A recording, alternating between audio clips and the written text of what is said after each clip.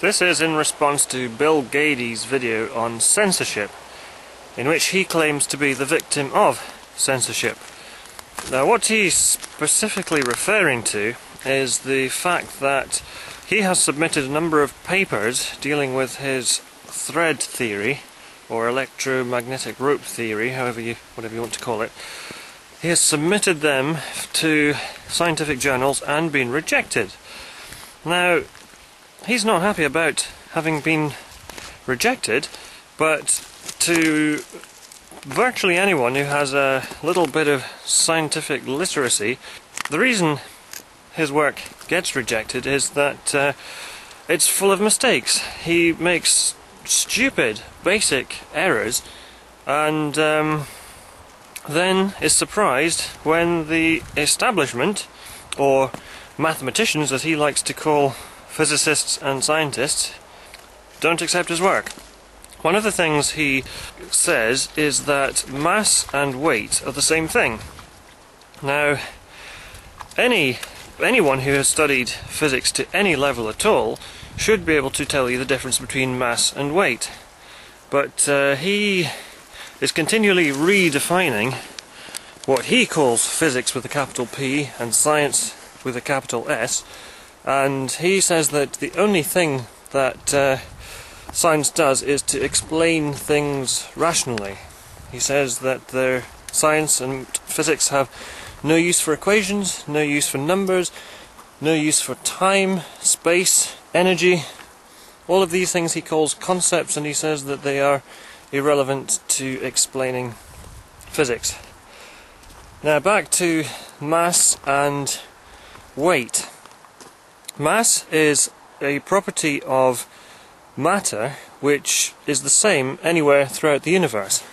So this rock here, say it's one kilogram, I don't know, I don't have scales with me. That's one kilogram on Earth, and that would be exactly the same on the Moon, or on Titan, Jupiter. And if it was drifting in space amongst the asteroid belt, it would be weightless. But its mass would still be one kilogram. So you drop it, hits the ground, and uh, hits the ground with a certain amount of force. That's because I just dropped it on the Earth. Now, it just so happens that on the Earth, the unit of measurement that we use for weight and mass is the kilogram. So, one kilogram of mass would weigh one kilogram on the Earth. If you took the same kilogram to the moon and uh, weighed it on weighing scales, the kind of thing that you have in your bathroom that you stand on, the weight, the reading would be 170 grams instead of 1000 grams because the gravity on the moon is only 17% what it is on the Earth.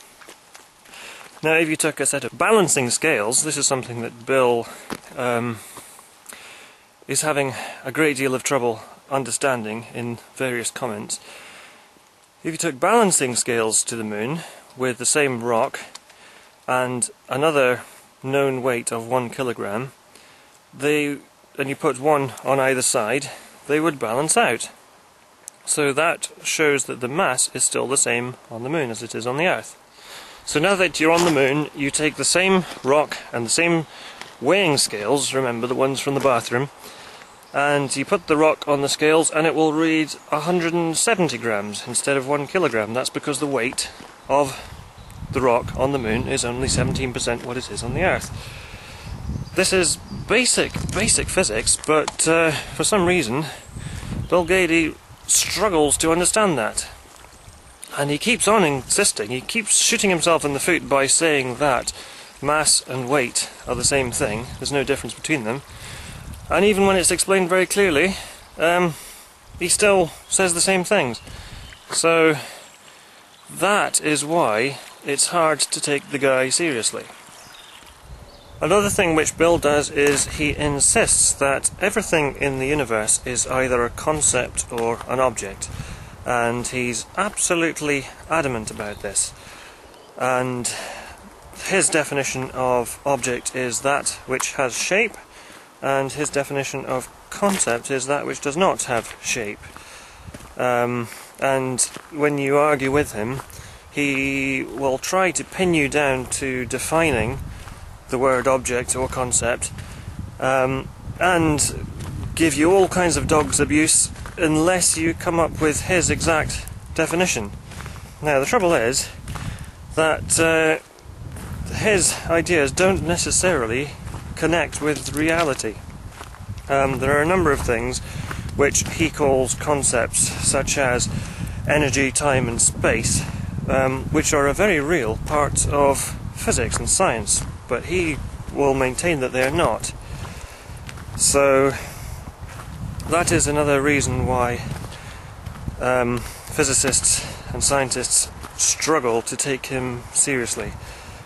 It's also worth mentioning something which he would claim is irrelevant to the pursuit of science, but uh, I don't think it's 100% irrelevant, and that's his abusive uh, language and um, the way he treats people, the way he speaks to people, and the way he constantly calls people like Einstein and Isaac Newton and Stephen Hawking, who he puts into the same category, um, idiots, morons, and uh, it, on you know one level it's quite amusing that a guy in his 50s would be so childish, um, but it's another reason I would say not to take him too seriously.